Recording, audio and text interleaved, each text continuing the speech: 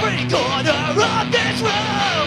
I see looks amazing but all I see is abandoned now I try to comprehend, I try to understand how this machine works, but I don't think I'm a part of it. I don't think I'm a it